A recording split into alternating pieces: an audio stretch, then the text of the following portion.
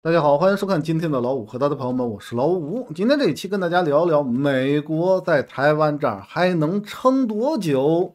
今天会跟大家聊两个新闻，一个是美国众议院的所谓的那个中国的那个协会啊，然后开大会了。那另外一个新闻是啊，这个华盛顿的邮报啊，他称啊，这个台湾的飞行员太少了。从这两个新闻，咱们能看到什么？看到美国的玩法。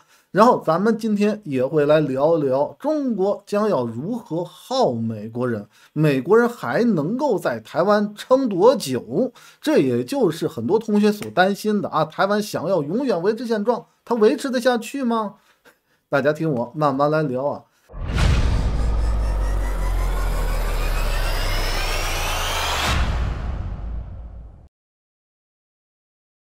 首先啊，跟大家聊一下关于美国的这两个新闻。首先啊，所谓的这个这个中美国众议院的中国问题特别委员会开大会啊，它里面讲的很多的内容，其实大家都会有一种感觉，很多同学当然会会很反感美国人，你这是搞台湾问题，你要干嘛，对不对？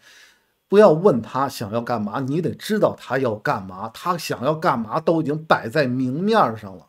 他想要干嘛呢？之前跟大家讲过，你看看乌克兰这个问题，美国是怎么玩的，对不对？然后呢，一直挑衅嘛，北约东扩，北约东扩，北约东扩管鸟用啊！他为什么一定要北约东扩呢？因为他要激怒俄罗斯嘛。激怒俄罗斯之后，美国可以啊拉着欧洲那帮啊国家，然后跟跟俄罗斯啊，我来制裁你，然后从而能够让美国人达到拉拢欧洲人的一个目的。虽然说现在没成功，没成功的主要原因是因为还有一个中国。如果没有中国的话，你看看美国能不能够成功，就明白了。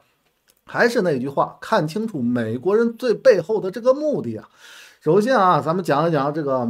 这个美国众议院啊，中国问题特别委员会的主席啊，盖拉格，然后他称啊，中国的威胁对于美国的威胁更胜苏联，那怎么办呢？我们美国应该努力武装台湾啊，阻吓啊中国。哈，他这个话大家不觉得怪怪的吗？就像我刚才跟大家讲的那样，美国玩什么，他的手段是什么，都已经在明面上了。他真的是要跟中国拼了吗？大家一定得看到这一点，美国人是真心想要跟中国拼吗？啊，很多同学认为啊，美国好坏坏，对不对？然后一看到俄乌问题，那就是乌克兰好坏坏，俄罗斯啊是个好棒棒。然后呢，看到美国，美国也是好坏坏，美国天天的借着台湾问题搞事情搞事情，美国是不是好坏坏？当然是好坏坏。但是美国是想要借台湾问题要跟中国拼吗？他说的这些话都快说白了。都已经说白了，对不对？要让台湾干，美国不会干，对不对？美国可以给台湾提供武器啊，阻止中国入侵等等等等。但是的话，你让美国人拿枪上，美国不会拿枪上。为什么？原因很简单，美国想要利用台湾消耗掉整个中国的实力啊，这就是美国的玩法，都到台面上了，对不对？然后很多同学可能会担心啊。那个台湾这个问题无解啊，永远维持现状。美国天天这么玩，咱们如何能够收拾美国人呢？其实大家一定得知道，看问题要直视，而不是要逃避呀。台湾问题最近我一直在跟大家聊，要直视美国人的存在，正视美国人存在，解决了美国，然后才能够真正的解决台湾问题，也就牵扯了我今天要跟大家聊的，美国在台湾还能撑多久？很多同学啊，那一说到台湾这个问题，那就应该趁着美国消耗在乌克兰这片战场之上，赶紧把台湾捅了。你这样玩是没有用的，因为美国想要的同样也是这个，就跟这些新闻一样，赶紧武装啊，武装，然后台湾，然后贺阻解放军，贺阻中国，对不对？然后他为什么这样？就希望你去动手嘛，希望你去动手嘛。你动手了之后，会有一个什么样的结果呀？昨天其实就跟大家聊了，美国就跟跑到欧洲去啊，去看呐，台湾呐，尸山血海啦，血流成河啦，对不对？然后中国好坏坏呀，好战呐，这个国家呀，然后的话，我们应该站在正义的一方，台湾是我们自由民主的大同盟里边的一员，欧洲赶紧站在我美国一边，对不对？然后谴责中国这种行为，只要欧洲人开始谴责了，中欧关系产生裂痕，欧洲又就得跑到美国一边呢。美国也可以借台湾问题啊，来跑到这个东南亚。要跑到东南亚啊，东南亚你们这些国家跟中国也有主权领土的争议啊，赶紧躲在我美国这一边，然后跟中国拼了。这就是美国的玩法，跟各位讲，没有什么特别深奥的东西，就是这样的简单。也有一些同学担心啊，美国啊不是一个会装可怜的，中国不会给美国装这种可怜的机会。怎我不知道这些东西都是怎么想的。现在美国就在这样干呢。现在美国在世界上说台湾问题，不都是这样的一个态度吗？中国好坏坏，要入侵台湾湾，对不对？中国坏坏坏，台湾湾好好好，对不对？天天不都是这样吗？啊，今天啊，这个二零二六年要武统了，侵犯台湾；二零二五、二零二四、二零二三，天天的要侵犯台湾，对不对？中国就好战，中国好坏坏，对不对？天天的就这么这个就这么干呢。然后的话，中国威胁论从何而来？不就是这些东西吗？就是你好战，你愿意打仗，然后的话，你要侵略谁？你要怎么怎么样？美国现在就在干呢，不是说中国给不给美国这个机会的问题，而是因为美国现在就在这样去做，美国的玩法就在平面之上，各位看不到吗？对不对？美国这样玩，它有好处啊，有什么好处？你台湾让美国啊，台湾那边反正左人这打个稀烂，台湾岛上的钱就得去美国。台湾的芯片制造业要不要去美国呀？对不对？台湾有钱人赶紧把你的固定资产卖了，赶紧跑到美国之去，跑到美国去呀，对不对？然后的话，台湾的中小企业，你们也有点钱。最近的跟大家讲过，所谓的台美的二十一世纪的这个贸易的倡议，不就是针对着台湾的中小企业、服务行业去的吗？也得去美国，要开开放那些啊方便的通道，然后辅助啊辅佐啊辅助那些台湾的中小企业去美国落地啊。现在美国这个目的都已经玩明了，还有还有谁看不清楚呢？对不对？美国当然是有好处，要做这个事情。美国为什么要做这个事情？之前跟大家讲过，美国不是说啊多在意中国统一与否，你统一不统一跟他的关系没有那么直接。美国只在意要维持自己的霸权，对不对？美国如果说可以借助乌克兰问题消耗掉欧洲、消耗掉俄罗斯，然后也想要消耗中国，然后也想要在台湾这个问题上消耗整个中国的实力，对不对？然后的话能够影响欧洲，能够影响东南亚，美国那这个霸权也就稳了。美国的目的是什么？维持霸权。对不对？很多同学啊，一说到台湾问题，那赶紧那为什么很多同学认为俄罗斯好棒棒？趁着啊，这个俄罗斯消耗美国人啊，现在武统台湾，那就赢麻了，对不对？只要武统台湾了，我们就能够获利啊。很多同学有这种想法，能不能理解？能理解，但是直视问题，为什么呢？因为归根结底，这个世界还是正在博弈的一个世界呀。你稍微有点问题不注意，你就万劫不复啊。就像我刚才跟大家讲的，如果中国与欧洲的关系出现问题，如果中国的关啊，中国与东南亚的关系出现问题，这两个地方都是什么样？跟中国什么样的关系啊？首先，欧洲是中欧贸易“一带一路”最关键的一个节点，欧洲毕竟是世界的三大市场之一呀，对不对？中欧之间的关系出现问题，那中国的发展将要遇到什么样的问题？“一带一路”还怎么推？中欧贸易、中欧铁路那些东西是什么？到最后会变成什么？对不对？东南亚呢，那是中国的第一大的贸易伙伴呐，对不对？这样中中国跟东南亚的贸易那个量大了去了呀。如果中国跟东南亚的关系整体受到影响，美国占据了美国那一边，美国将那中国的发展将会变成什么样？美国的发展将要变成什么样呢？我相信各位明眼人心知肚明，对不对？然后啊，那如果说中国的发展受到了影响，美国再跟中国博弈的话。一个什么样的中国对于美国来说才是最好的？大家想一想，一个什么样的中国才对于美国来说是最好的？其实很久之前我就跟大家讲过，美国人最希望见到的中国是一个什么样的一个中国？那就是九十年代、两千年的那个中国嘛。你是啊，这个世界廉价商品的提供地，美国廉价商品的提供地，对不对？然后你你中国的老百姓，你永远就一个月拿那把几百块钱、一千块钱工资就可以了，对不对？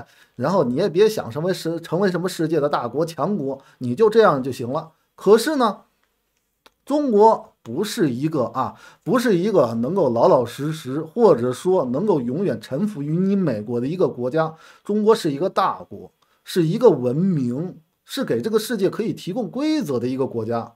所以说呢，对于美国来说，美国最希望经过了啊，他之前那种想法，九十年代希望中国永远变成九十年代、两千年的那个中国，然后走到现在，美国这个变那个对于中国的想法会不会有所变化？当然会有啊。哦，只要中国还有一定的体量的话，可能中国那个大国的那个心就不会变。那分解中国对于美国来说是不是好事情？让中国变成几块儿，对不对？什么七块论、八块论、九块论、十一块论，对不对？等等等等，各种各样块论，然后把中国分解了，对于美国来说是不是好的？那个时候也许咱们已经统一了台湾，对不对？武统了台湾，统了。但是对于美国来说的话，如果能够借台湾问题遏制中国的发展，导致中国的发展出问题的话，中国那个时候要跟中国博弈的话，美国会不会对中国下手，对中国动手，裂解中国呢？那个时候真不敢想，各位跟大家讲啊，真的是不敢想。对于美国来说，美国就是要维持自己的霸权。如何维持自己的霸权？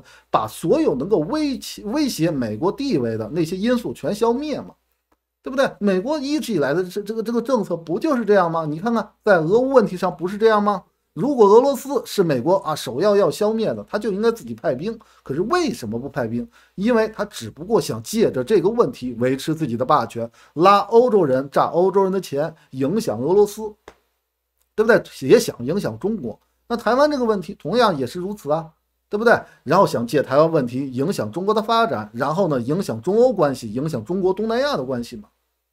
这就是问题的根源，对不对？美国要的是什么？要的是维持自己的霸权，所以我一直在跟大家讲，要正视台湾这个问题，要正视美国的存在，对不对？要解决美国才是核心的问题，解决了美国的这个威胁，然后台湾还能跑到哪儿去啊？对不对？就像我反反复复跟大家讲那样，你让台湾现在去独立，咱们不打台湾，对不对？你你独立我也不打你，你经济靠谁而活？美国要台湾的芯片制造业。大陆这边啊，养活了台湾的百分之四十多的出口，我就不说断你百分之四十全给你断了，给你断百分之三十。台湾那个时候吃饭还吃得上吗？很简单，你让他去独立，他独得了吗？就这一句话，对不对？台湾跑不了，台湾跑不了。美国想要借台湾啊搞中国的心，那是很大的，对不对？但为什么要搞呢？维持自己的霸权嘛。那如何消除掉所有对于中国往上去走的那些威胁呢？对于美国来说，要消除影响它霸权的因素；那对于中国来说呢，同样也是如此。所有影响中国发展的因素，咱们也得消灭。什么玩意儿影响中国的发展？美国嘛，对不对？台湾这个问题，美国嘛，美国是核心问题啊，对不对？大家还得看到啊，就像我刚才刚才最开始跟大家聊那样，那美国，那你要你老五说了啊，要解决美国的话，那得多久啊？有同学说了啊，那得六十年，对不对？在我这儿留言，六十年才能解决美国。很多同学，真的是就像我一直以来跟大家讲的一样，就看待这个国际的政治，有的时候真得深入的思考一下，真的是要认识到自己的水平，也认识到对方的水平。而不是说妄自菲薄，或者说啊啊就是一味的夸大对方的实力，都没有任何的意思。必须啊知己知彼，才能百战不殆呀！你连你对于自己不了解，更何谈你了解别人？你不了解别人，也不了解自己，你看待这些问题如何看清楚啊？那中美之间的对比到底是什么样的呢？是否需要六十年才能解决美国这个因素呢？中美之间的差距有六十年那么大吗？其实啊，大家得知道啊，你要聊台湾问题，必须要牵扯就是地缘政治的一些问题。台湾这个点对于美国来说就是个死局。为什么？离大陆太近了，离大陆太近了。这一点大家一定得记住啊。这一点就注定着美国就得长途的跋涉来解来支撑啊台湾。咱们这边。解决台湾这个问题，你不管是经济的、政治外交的，还是军事的，美国还有优势吗？大家把这个东西看清楚啊！其实最近啊，关于台湾问题都出现了很多很神奇的一些变化。咱们先说外部的，再说台湾岛内部的。外部的，比如说啊，之前的德国的社民党，然后跑到跑到这个台湾啊，去去访问啊，窜访。然后的话，社民党说的是什么？你台湾要维持和平稳定啊，对不对？台海一定要和和平稳定啊。然后的话，只有和平稳定啊，才是才好。德国的社民党也都大家也都知道是舒尔茨那个党，德国总理舒尔茨那个党。然后舒尔茨是一个什么样的政治人物啊？那是带着德国的大企业来中国投资的。大家得知道，我之前跟大家讲过，反反复复跟大家讲过，舒尔茨带着那么多的德国的大企业来中国投资，不是因为爱中国，不是因为德国人啊全心全意就觉得中国的好，不是，是因为什么？你来，他来中国，他有发展的，他能赚钱，他才来呀。那讲到他能赚钱的话，那就要讲到那那德国的社民党跑到台湾喊什么台海和平稳定，那什么意思啊？很简单的，如果打起来了，影响德国人在在大陆的投资啊，就这样很简单的一个问题啊，这就是社民党跑到台湾，他的干事说这种话的一个目的啊，就是台湾你别乱动，你台湾又如果乱动的话，对不对？影响了大家的利益的话，大家会抛弃你的，你千万别挑事儿，你别挑战大陆，对不对？挑战你要维持和平稳定，你要乖。社民党是这样，其实大家看待这个世界已经开始慢慢的发生变化了，从最开始。从以前，比如说二三十年前，然后的话，那个时候啊，美国只要说了啊，这个中国威胁了台湾，对不对？大陆威胁了台湾，这个世界不会有人说个不字。结果走到现在变了，德国那也算世界强国之一吧，对不对？然后人德国的社民党跑到台湾，警告台湾，你不要给我乱乱动啊，维持台海的和平稳定。你你敢乱动的话，你就是 trouble maker，你影响了我们德国人的利益，我们德国人当然要压你一下啊。这个世界正在发发发生着慢慢的一些改变，包括新加坡也是如此啊，他也不希望啊打仗，但是的话，他也知道台湾就是中国的一部分。然后的话，那新加坡为什么会有这种表达呢？同样的道理，你要打仗影响新湾新加坡的利益啊。所以说呢，一面对台陆台湾和面对大陆，那他们会更加的倾向于向谁喊硬话呢？肯定是台湾。这个世界正在发生着这种情况的慢慢的改变，对不对？然后的话，你说啊，像日本、像韩国，有的时候借着台湾问题喊两句硬话，但是它起作用吗？它起不了任何的作用。世界越来越多的国家会变成什么？之前跟大家讲过，没准解决台湾问题的不是大陆，为什么呢？因为台湾毕竟是一个一个捣乱的因素嘛，会影响大陆的一个因素啊。因为中国跟其他的国家利益上的关系绑定的越来越紧密的话，人类命运共同体啊，利益上的关系。绑定的越来越紧密的话，台湾如果乱说乱动，影响了整个中国的利益，影响了大陆的利益的话，同样也就相当于影响了别的国家的利益。然后那个时候，那些国家可能就会带头喊要解决台湾问题了。台湾是一个 trouble maker，可能话就会说得很直白。现在这个进程正在往往前去走，谁拦得住呢？这个进程到底是如何实现的？是中国的发展实现的，对不对？然后的话，这只不过是外部因素发生了改变，台湾内部因素呢？国民党又往大陆来跑，夏立言，对不对？待了那么多天，然后民进党呢？民进党现在怎么不喊台独了？大家想想一个问题：民进党怎么不喊台独了？然后民进党现在喊和平保台。其实很多同学不敢想，就是说很多同学对于很多的问题不敢想，比如说啊。你像什么一聊到俄罗斯，不能提远东，提远东你就是一个出大问题的人，对不对？啊，怎么能够影响俄罗斯呢？对，应该跟俄罗斯成为同盟，应对美国的挑战。这一话一说，我之前跟大家聊了，充满了不自信，对不对？必须要跟俄罗斯绑定在一起，成为同盟，才能面对中美国的威胁。那这个话的意思就是啊，中国不如美国，中国得依赖俄罗斯。那中国凭什么现在不能依靠着自己的实力在这个世界上独活，要依赖于别人呢？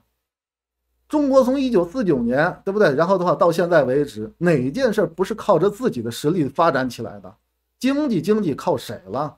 对不对？只不过要了一个公平的环境，进入了世贸，对不对？也没有说谁来支持，求着谁来支持了。经济是如此，军事呢？你不是花真金白银从啊俄罗斯买的飞机、买的船，对不对？然后自己拼命了研发，然后才研发成今天这个样子吗？买别人武器的国家多了，印度买，印度发展出自己成体系的武器了吗？靠是不是靠自己啊？政治外交是紧贴着美国了，还是紧贴着俄罗斯，还是紧贴着欧盟了？现在中国的政治外交是不是靠着自己的实力闯出一片天呢？不管是金砖组织还是上合组织，靠谁了？靠的不是自己吗？对不对呀？就很多同学看待这些问题的时候，就不敢想，就总觉得自己要依赖着别人，然后自己不如别人，自己比如说解决台湾问题得趁美国不注意，在俄在乌克兰呢，对不对？然后赶紧把台湾问题解决了，就不敢想。比如说像俄罗斯的远东问题，不敢想解决美国这个问题，认为人家都强的好可怕，不能沾不能惹，谁敢提谁万劫不复。其实啊，很多同学看不起民进党，对不对？看不起民进党这个烂党，这个垃圾党，对不对？这个民进党一个一个一个不值钱的玩意儿，对不对？然后一个垃圾，然后没有一个人性的一个政党，很多同学看不起民进党。但是我跟大家讲过。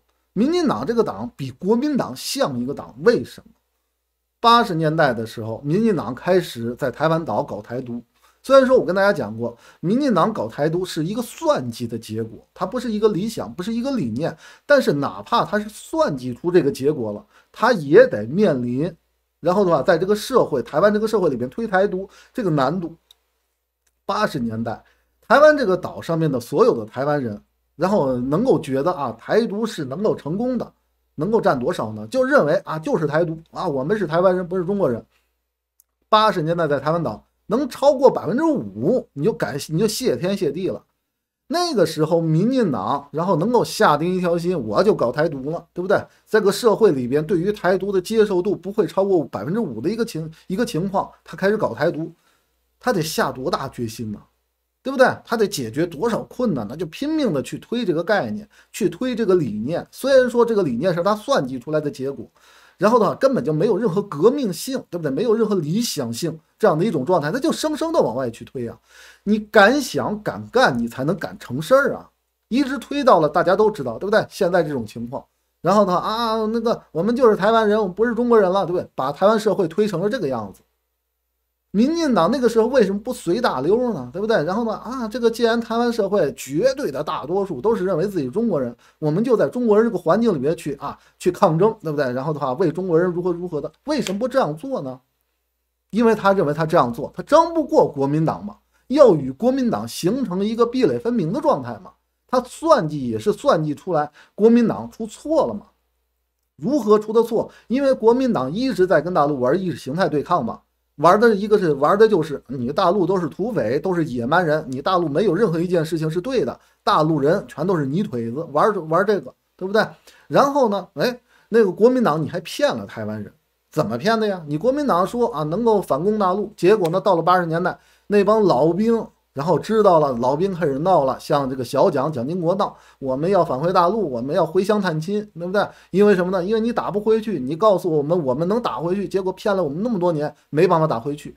民进党敏感地发现了这两点：一，台湾人不喜欢大陆；二，没办法反攻大陆。但是当时的台湾能够自保，当时台湾的军事实力可以自保面对大陆，因为当时的台湾有 F 十六，有幻影幻影两千。对不对？也有台湾自己弄的那个 IDF，然后的话，这个军舰也有什么，这个这个宙斯盾，然后也有什么拉法叶。那个时候，大陆那个时候有什么呢？歼六、歼七、歼八，对不对？军舰连现代机都没有。那个时候，八十年代、九十年代的时候，然后的话，那个时候台湾能认为自己啊，愿意能够认为啊自己能够自保，但是大陆又好坏，又不愿意跟大陆离太近，然后又没办法反攻。但是我们能够自保的话，台湾独立啊，这是一个算计的结果。可是呢，他敢，就算是算计的结果，他也得面对台湾岛上大部分的人，绝对的大部分人认为自己是中国人。可是呢，他敢想，他敢干，他干出来了，干成今天这个样子了，对不对？结果走到现在，咱们现在中国在这个世界上的实力，到底是一个什么样的情况？结果一说到美国，解决台湾问题要解决美国，不敢想了，不敢想，不敢想，美美国太强，对不对？然后的话啊，这个这个俄罗斯啊，然后的话是中国提出十二点立场，俄罗斯啊不同意，俄罗斯还向美国释放信号，要跟美国来谈啊，你俄罗斯要付出代价，远东你自己好好想一想。结果呢啊，不能提，不能提，得依赖着俄罗斯啊跟美国对抗。就很多同学就是说看不起民进党，但是你也得知道民进党怎么回事吧？民进党是不是？你作为一个政党的话，它比国民党强，它敢啃硬骨头啊！一个社会里面完完全全非主流的一个声音，就愣被他推成了现在这个样子。放到现在来看，中国在这个世界上的实力不如俄罗斯啊，对不对？是不是不如俄罗斯啊？可能 GDP 很多同学会说不如美国，但是还现在中国哪方面不如俄罗斯呢？还必须得中国依赖着俄罗斯。现在在俄乌这个问题上，谁有求于谁？谁依赖着谁？是中国求俄罗斯了，还是俄罗斯应该求中国呀？很多同学想不明白这一点。那咱们继续讲台湾这个问题啊，大家得知道，看台湾这个问题，想要解决台湾这个问题，必须得直视美国人，对不对？美国人想要借台湾问题影响中国的发展，影响中欧关系，影响中国跟东南亚的关系，那如何破解美国人呢？看到美国想要维持霸权。对不对？那就影响美国的霸权。那如何影响美国的霸权？借助台湾这个问题啊？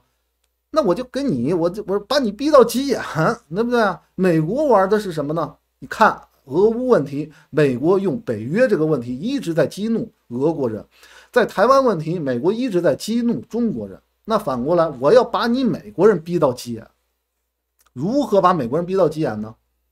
你就看一看啊，你佩洛西往台湾跑，我就搞环台湾岛军演。对不对？让海峡中线消失，然后呢？你美国的这个政客麦卡锡，对不对？新上来的美国的众议院的主席，然后要往台湾去窜访，那我就直接警告你，对不对？导致你来不了，然后呢，让你美国必须得在台湾这个问题上表态，天天的表态，你必须得表态，对不对？然后现在你美国所谓的什么中国问题什么什么协会，对不对？开大会了，然后的话要武装台湾，武装台湾，你武装台湾没用啊，对不对？然后呢，你就得借着台湾问题给我喊硬话。就让你一直喊，喊到什么样的一个情况呢？喊到你美国想要亲自动手的一个情况，我就要收拾你美国。讲到这儿的时候，很多同学可能要想了，对不对？中国啊，那那什那中国的实力与美国的对比到底怎么样呢？刚才跟大家讲了，看台湾问题一定要牵扯地缘政治，离大陆太近了。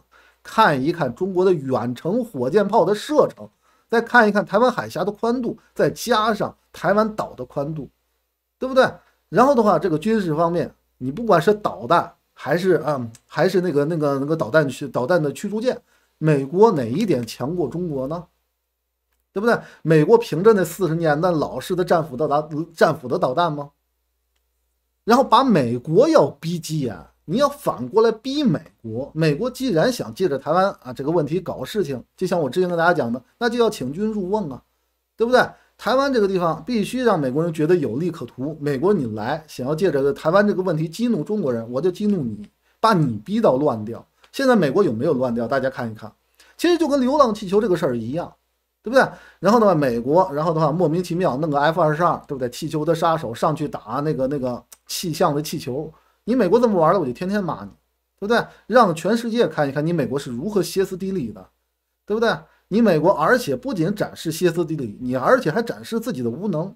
一会儿说那是间谍的气球，的间谍的气球啊，影响了这个美国的主权，影响了美国的这个这个这个这个领空，让侵犯了美国的主权和领空。你就这么喊喊完之后，你如何让中国付出代价了？全世界都看到了你美国的虚弱呀！中国侵犯了你的主权了，侵犯你的领空了，你如何反抗中国呀？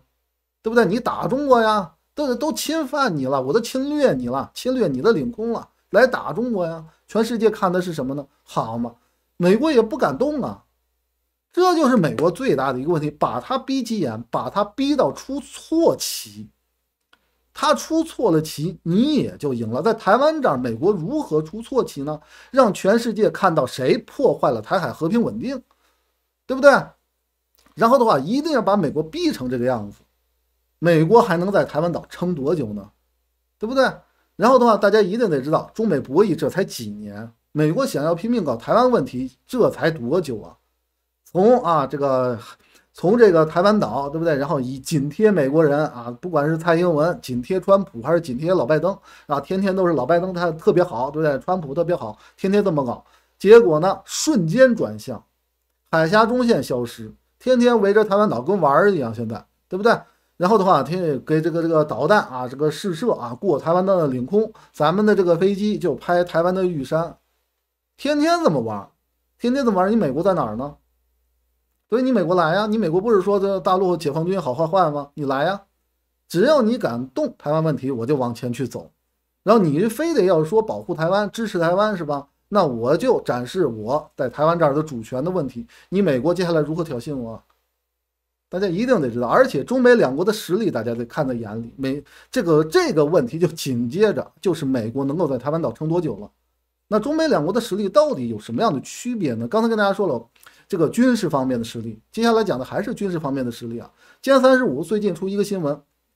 咱们这个这个在招飞啊，招飞行员，对不对？招飞行员，然后那个那个宣传片里边模模糊糊的出现了歼三十五的身影，歼三十五估计要上舰了，对不对？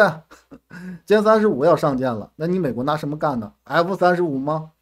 那可以拿 F 三十五，那中国还有歼二十呢，对不对？美国有 F 二十二，哎，是可以，但是还有另外一个问题，那就是这个导弹的区别了。你美国的四十年的老战斧就是不够用。咱们的超高音速导弹就是能干你，你美国就是没有超高音速导弹，对不对？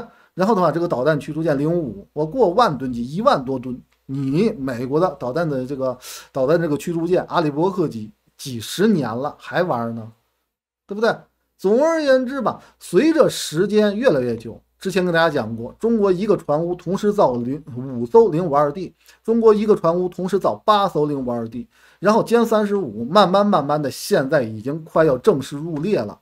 然后的话，歼二十正在换发，只要时间哎在咱们这一边，比如说啊，再往后发展两年时间，咱们歼三十五要不要正式的入列，对不对？再往后两年时间，咱们的歼二十能造多少艘？再往后两年时间，咱们同时得多造出多少零五二 D？再往两两年的时间，对不对？歼二十的换发能够进展到什么样的程度？再往后两年的时间，福建舰是不是也要正式入列了？你美国那个时候有什么跟中国比？美国现在我跟各位讲，滨海战斗舰吗？还是朱姆沃尔特，对不对？怎么都停产了呢？美国有哪个先进的武器正在它的生产生产线上？没有。它的美国的那个新型的导弹发展的怎么样了？在哪儿呢？这就是美国现在最大的问题。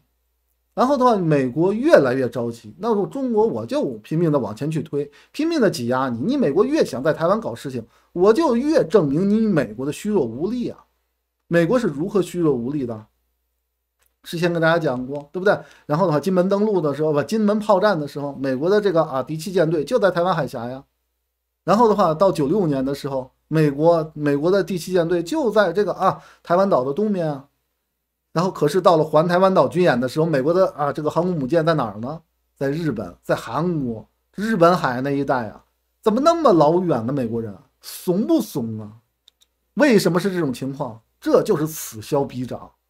你就看一看咱们现在发展的速度，美国还能撑几天？美国为什么拼命的喊二零二六、二零二五、二零二四、二零二三？因为他知道时间在谁那一边呢？再过几年。中美之间的趋势发生了逆转，然后美国还想借着台湾问题搞事情，那个时候美国人就真正的要付出代价了。为什么呢？因为中国的实力往上发展，发展的不仅仅是军事，还有政治、政治外交和经济，包含科技。只要中国的政治、外交、经济和科技往上发展下去了，中国与欧洲的关系也会越来越近，中国跟东南亚的关系也会越来越近，中国跟拉美、跟西亚。都会越来越近，因为什么呢？因为你强了呀，就跟现在一样，你美国经济出问题了，伊拉克就得出来说，哎，这个是市场上面流通的美元变少了，我使用人民币。巴西也得出来说，我使用人民币结结算。你美国呢，对不对？为什么巴西和伊拉克一个生产石油的，一个生产大宗的原原材料的，对不对？大宗商品的，然后的话要跟中国越来越深的关系啊？就是因为中国的经济、科技各方面起来了呀。德国人为什么来中国投资啊？不就是因为中国的经济起来了吗？来中国投资有发展呢。再往后去走，世界其他的国家跟中国走得越来越近。等等到那个时候，我跟各位讲，跟大家预言一句：美国那个时候搞事情，可能就会遇到现在美国在欧洲遇到的问题一样。英国人都跟美国人叛变了。英国人拉着德国人，拉着法国人，苏纳克自己亲自起草了一个计划，让这个乌克兰去跟俄罗斯去和谈，对不对？英国人都跟美国人说出不一样的话了。拜登说啊，俄乌战争不可能靠和谈能够谈出一个结果。英国人就说促进乌克兰去跟这个这个乌俄罗斯去和谈。你就看一看英国人现在态度怎么变一百八十度大转向呢？英国人还借着通货削减法案。通胀削减法案，美国的通胀削减法案抨击美国人呢？你美国这样做不行啊！英国人都变心了。等到哎，再过几年，不用特别的久，不会超过五年时间的。跟各位讲，靠着中国现在发展这个速度，那个时候，中国不管在台湾这儿搞什么样的事情，美国如何骂中国，靠着中国在政治、外交、经济、科技的影响力。都在往上去走的一个情况底下，拉近了中国与欧洲的关系，拉近中国与东南亚的关系。那个时候，中国不管怎么样动手，人家都会说破坏和平稳定的是台湾的。美国还能在台湾这儿撑多久呢？大家自己想，为什么说美国撑不久了呢？拼的是什么？拼的是发展。只有发展，然后的话，影响的才能影响的是什么呢？是美国那个霸权呢？这也就是美国人最害怕的，美国还能撑多久呢？大家好好想想吧。好吧，今天这期就聊到这儿了，感谢各位啊。